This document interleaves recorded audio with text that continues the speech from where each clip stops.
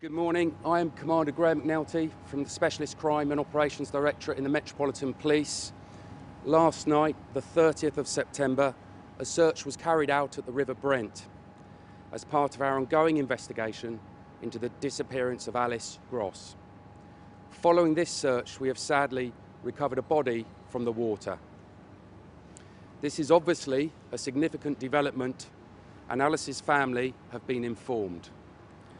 We are unable to make a formal identification at this stage, but clearly this news is devastating for Alice's family and friends.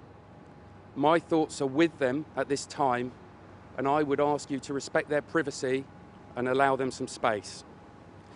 This is now a murder investigation, and I need the public's help to find out whoever is responsible. I would urge anyone who may know something to come forward. Even if you have not yet spoken out, it is not too late to tell us what you know. I would like to thank the local community of Ealing who have shown us huge support and patience during the course of our investigation. This discovery will have a significant impact throughout the borough. You only need to walk around the surrounding streets to see the effect that Alice's disappearance has had on the whole community.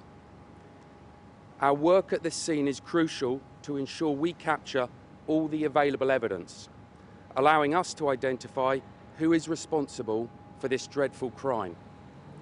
This may take some time, and I would ask people to remain patient with us.